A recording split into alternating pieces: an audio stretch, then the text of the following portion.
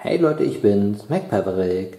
Ihr wollt zum ersten Mal fliegen oder seid das erste Mal am Flughafen und ihr wisst nicht genau, wie die Abläufe funktionieren? Keine Sorge, in diesem Video hier zeige ich es euch.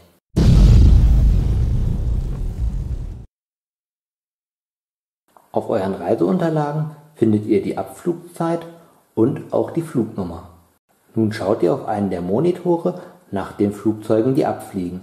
Hier schaut ihr nun nach der Abflugzeit und auch nach eurer Flugnummer. Wenn ihr eure Flugnummer gefunden habt, könnt ihr genau sehen, an welchen Check-in-Schalter ihr euch anmelden müsst.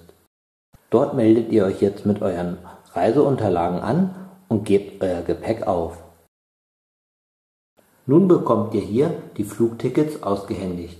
Auf dem Flugticket findet ihr das Gate, an dem das Flugzeug auf euch wartet und ihr findet auch die Boarding Time, die sogenannte Zeit, wann ihr ins Flugzeug herein könnt.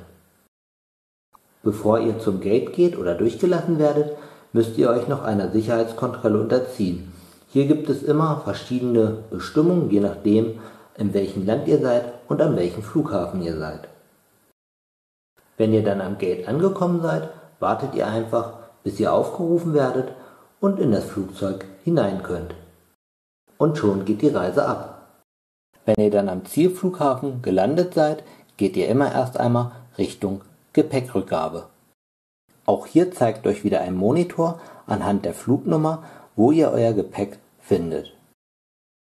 Euer Gepäck könnt ihr dann von dem entsprechenden Förderband wegnehmen. Wenn ihr euer Gepäck dann habt, stellt sich noch die Frage, ob ihr etwas zu verzollen habt. Wenn ihr nichts zu verzollen habt, könnt ihr einfach durch den grünen Bereich durchgehen. Wenn ihr etwas verzollen müsst, dann müsst ihr euch im roten Bereich melden und euer ja, Gut oder eure Ware dort anmelden und verzollen. In jedem Land gibt es da ja andere Einfuhrbestimmungen. Informiert euch da vorher beim Auswärtigen Amt. Auch die Einreisebestimmungen sind unterschiedlich. In der Europäischen Union reicht es, wenn ihr mit dem Personalausweis reist ja, in nicht-europäischen oder Nicht-Ländern der Europäischen Union braucht ihr einen Reisepass und ja, in anderen Ländern zum Beispiel braucht ihr auch mal ein Visum.